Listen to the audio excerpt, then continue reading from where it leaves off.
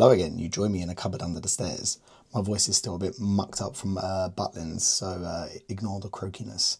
Anyway, I'm at a job that's been in previous videos where I've done some bits and bobs and uh, kind of done an upgrade on it. And uh, yeah, I wanted to go through something because basically a plumber in the infinite wisdom has mucked up my installation. So let me turn the camera around and show you. Right, as you can see here, we've got a gas main coming out the floor, which has been cut off. This used to go up and be attached to here with my gas bond attached merrily before the T as it should be to protect this installation. But now this is sticking out of the concrete. This goes to other parts of the building, but now it could be a extraneous conductive part. So we could be introducing this different potential to this property. So I'm going to carry out some tests of it, but it's just plumbers. They just sometimes decide that, oh, green and yellow cables get in the way sometimes. Anywho, I put that on temporarily when I was last here, um, when I saw it had been taken off, before I could get this sorted out and bonded because I didn't have a big enough earth block there. That's also the reason why there isn't an earth label on it. The job's not quite complete. Anywho, I need to carry out a test here and see if this is introducing the potential. So we're going to be testing between the pipework and the earthing conductor. Now the earthing conductor needs to be removed from any other conductors that are going on there. So I need to take out the MET, which means I need to isolate the installation. Now there's been a lot of talk about diverted neutral currents and I'm not claiming to be an expert in it, but it's just highlighting bits that are going on. When this operative decided to cut through this gas pipe, there was the potential that there was a diverted neutral disappearing down it, in which case he could have got an electric shock because of the when he was taking and mucking about with our earths. Um, so yeah, there, there's not really a, a safe system in place yet like a proper approved way of taking out these conductors. When I isolate this, in theory, there should be no issues, but there could be another property with a damaged conductor, which means that the if it's a PME system, it can go through there, use my earth or use my neutral going through the shared uh, gas pipes water mains or whatever it may be. So there can be some dangerous um, ampage going through it. So when I isolate it, I can put a little crocodile um, clamp meter around it and test to see if there's any current flowing. That's all I can really do.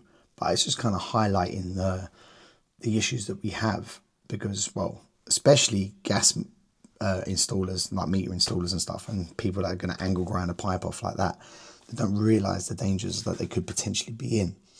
But we do, and we're going to try and do things properly. Anyway, I went off on a bit of a tangent there. So we're going to be testing between the two.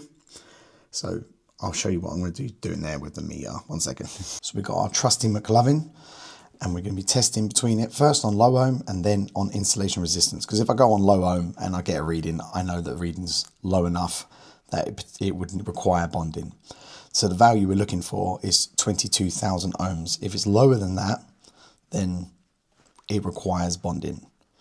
Now, if it's if it's over range on this, then we're going to go on to our insulation resistance.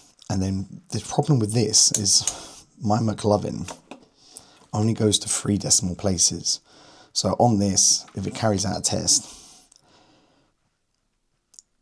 it would be, right, let's keep these three figures on here. It would be 0 0.00, say if it was dead short but 22,000 doesn't show on here. So 0 0.02 would be 20,000, 0 0.03 would be 30,000. So you can see the issue here, it's not really precise enough. But if I got 0 0.02, then in theory, I should have to bond this piece of pipework. It's an extraneous conductive part. Okay, this is all going to be awkward because it's one-handed, but let's go for it. So first things first, I'm going to put my lead crocs together. Take any resistance out of my leads. Oh, my button's breaking on my gloving. I've uh, safely isolated this and removed my earthing conductor, which is just this little braid coming off. Hopefully you can see that on the video. I'm going to go onto our pipework. and we are getting 29 ohms. So it's a very low reading. If I went on to insulation resistance, coast button's rubbish. You can see it's a dead short. Well, it's showing on as a dead short.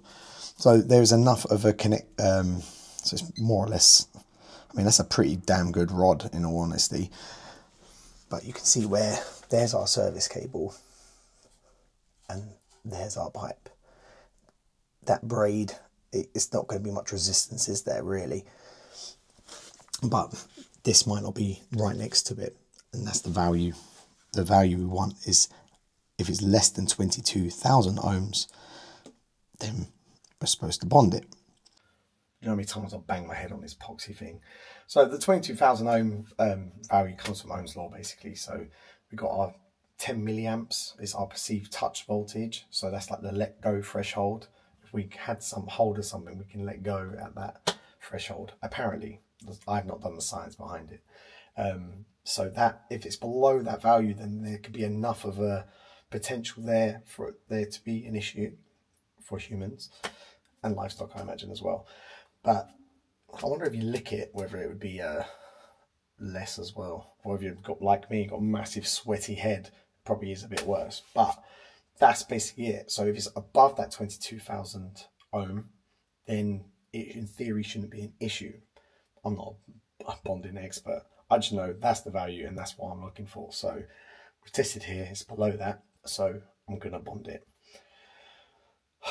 So I better get bonding really and mind my bloody head. So that has now got a bond on it. I've changed the MET out and it's really mucked up the look of the, the aesthetics here because this was uh this is now like a bowstring. This one's like a bowstring because I couldn't put this sideways. So I had to go vertical. Anyway, electricity doesn't care what it looks like, but I do. Um, just need to get a tag on there as well and safety do not remove. Anyway, we stick our crock on here. It's pretty decent. I'll probably get better. Zero. That seems about right. So now they're the same potential and there's no potential difference at all in here. And in theory, we're all safe again. So any plumbers watching, don't cut off uh, gas pipes without consulting an electrician. I'm definitely going to bang my head again. Um, and yeah, if you do come across a bit of an old gas main, just carry out this test and see what you can uh, see if it's below that value.